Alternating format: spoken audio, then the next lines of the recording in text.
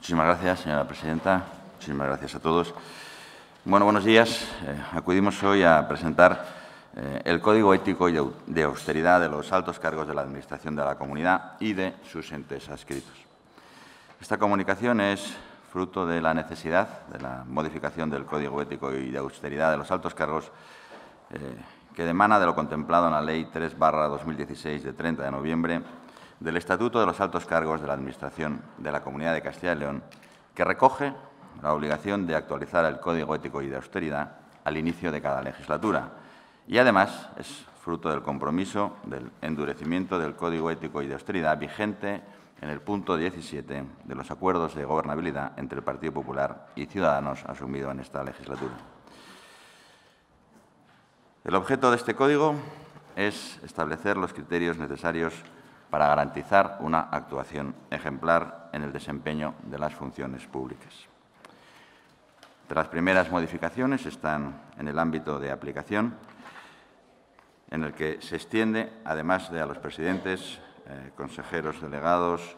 eh, directores generales, gerentes o asimilados de las empresas públicas, independientemente del tipo de contrato o del vínculo jurídico formalizado. Hasta este momento eh, se limitaba a los eh, contratos de alta dirección. A partir de ahora, eh, todos los directores generales, gerentes o asimilados, independientemente de qué tipo de contrato, estarán vinculados a este código. Esta novedad lo que pretende es conseguir que la verdadera naturaleza del contrato sea la verdadera naturaleza del contrato y no estrictamente su denominación la que reciba, la que determine eh, la sujeción a este código. Este aspecto supone no solo una novedad respecto al código anterior, sino respecto a la propia Ley 3-2016 de 30 de noviembre.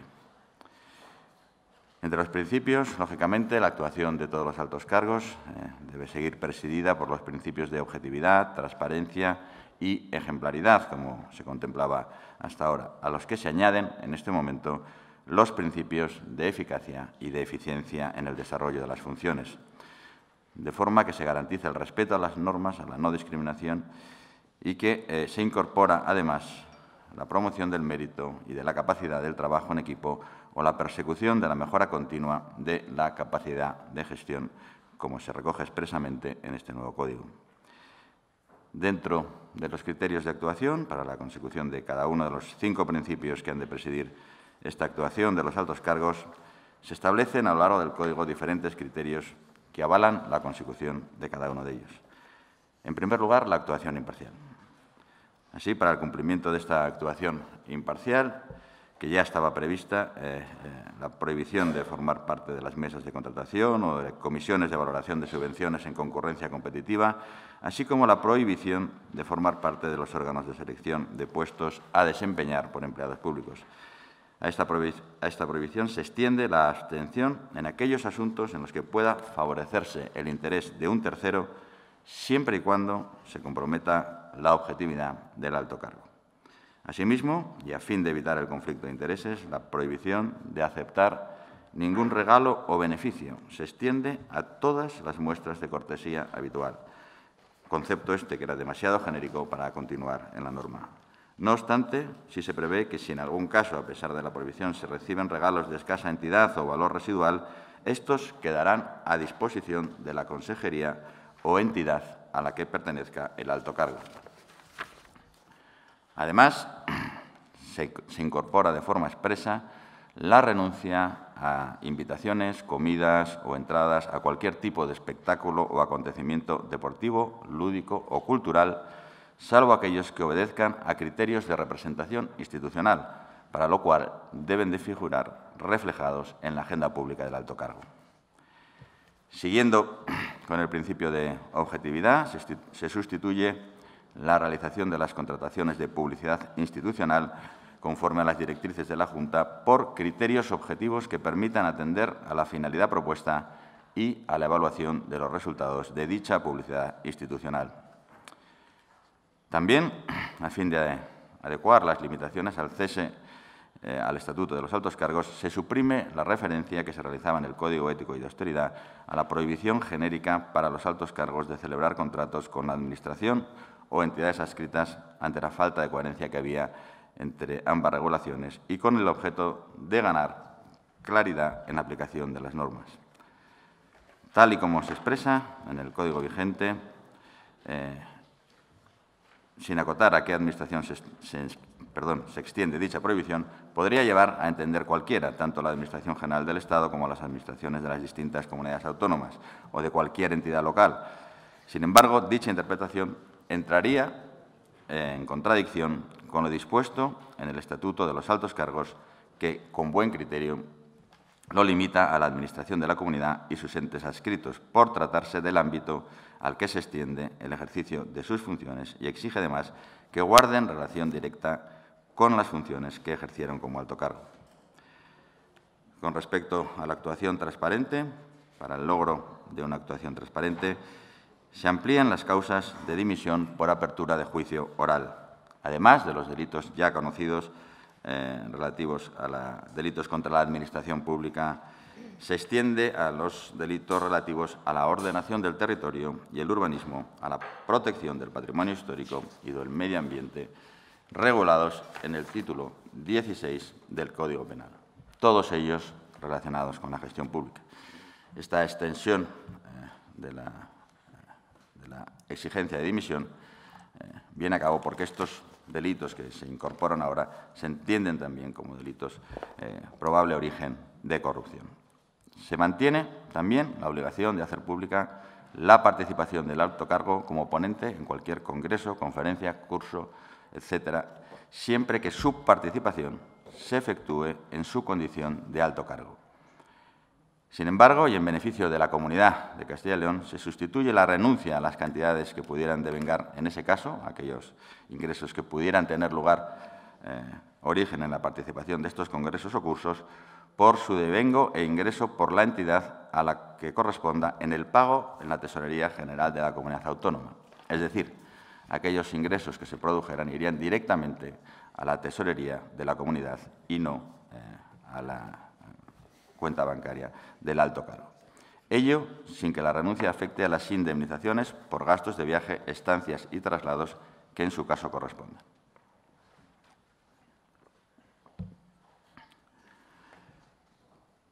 Como es lógico, la renuncia no afecta a estas indemnizaciones, ya que de lo contrario sería recaer sobre el alto cargo la asunción de los costes derivados del ejercicio de sus funciones. Por otra parte, y en un entorno como el actual, eh, en la que la transparencia eh, se incorpora la publicación de los actos y las renuncias públicas en el marco de la plataforma de publicación normalizada de las agendas institucionales y que ya se está realizando, como han podido comprobar, tras aprobarse en el Consejo de Gobierno del 14 de noviembre de 2019. En ese acuerdo que, se presentó, eh, que presentó la Consejería de Transparencia, Ordenación del Territorio y Acción Exterior, por el que se establecía la difusión en el portal de transparencia de la información relativa reuniones, eventos o encuentros, tanto presenciales como en formatos electrónicos o a distancia, que se realicen en el desempeño de las funciones. Con respecto a principio, al criterio de actuación ejemplar. Eh,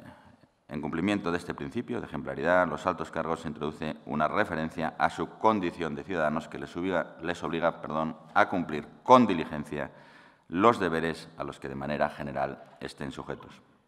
Asimismo, se suprime la limitación a determinados supuestos de la prohibición de apoyo a peticiones de indulto. Se prohíbe eh, las peticiones de indulto a cualquier delito, extendiéndose eh, más allá de los que actualmente eh, se contemplaban, que eran los delitos de violencia género, terrorismo o contra la Administración pública. Como ya se indicó al referirnos a las limitaciones al cese en los criterios para una actuación imparcial y siguiendo la misma sistemática, se suprime la referencia que se realizaba en el Código Ético y de Austeridad a la prohibición de que los altos cargos sean contratados por empresas concesionarias de la Administración. Tal y como estaba expresada en el Código vigente, esta se restringía únicamente a empresas concesionarias, dejando a un lado a empresas que pudieran tener otro tipo de contrato. Sin embargo, dicha prohibición se extiende, eh, incluida en la recogida en el Estatuto de los Altos Cargos, que al referirse a entidades privadas hubieran sido afectadas por decisiones en las que hubieran participado individual y directamente. Comprende, tanto, por tanto, a las empresas concesionarias como a cualquier empresa vinculada con la Administración por otro tipo de contrato. En coherencia con el ámbito de aplicación, la renuncia a la indemnización por cuantía superior a la prevista en la normativa legal se extiende también a todos los tipos de contrato, no solo a los contratos de alta dirección.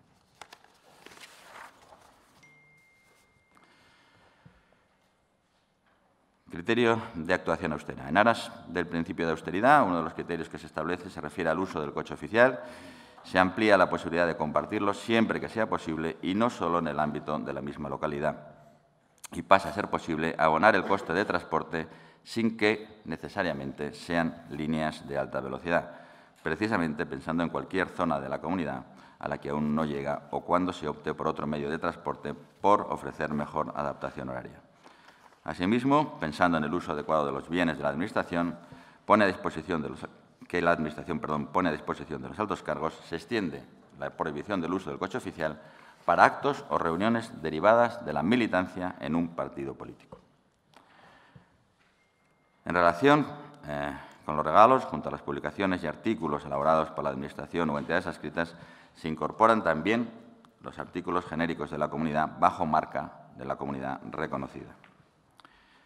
Este principio de austeridad debe de observarse igualmente en los gastos a realizar con motivo de las reuniones de trabajo, lo que no excluye a los miembros del Consejo de Gobierno, que sí lo estaban en el Código vigente. En el Código actual se mantiene que cuando para la realización de las reuniones de trabajo se precisen servicios de hostelería, será necesaria la autorización por el titular de la Consejería o el secretario general, añadiendo al órgano que tenga atribuida la competencia en cada una de las entidades adscritas, excepto para las reuniones de trabajo que sea preciso realizar por altos cargos miembros del Consejo de Gobierno, en cuyo caso tal autorización no será necesaria. Con respecto a los criterios de actuación eficiente y eficaz, como ya se ha indicado, dos de los principios que deben de presidir la actuación de los altos cargos y que se incorporan también a este nuevo código son los principios de eficacia y eficiencia. De igual forma, se incorporan unos criterios acordes con dichos principios que van a suponer pasos consecutivos, fijando inicialmente el objetivo general de evaluación y posteriormente su desarrollo mediante la elaboración de planes, su ejecución y la adopción de las medidas o resultados obtenidos. Se parte, pues, de la necesaria rendición de cuentas de los altos cargos mediante el sometimiento de sus decisiones y actuaciones a una evaluación conforme a criterios objetivos.